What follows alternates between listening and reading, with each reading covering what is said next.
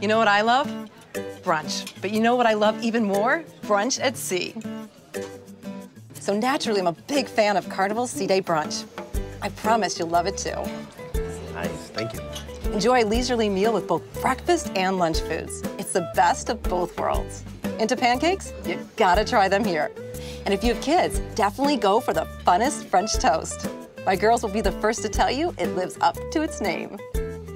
And I gotta say, it's nice to be waited on once in a while.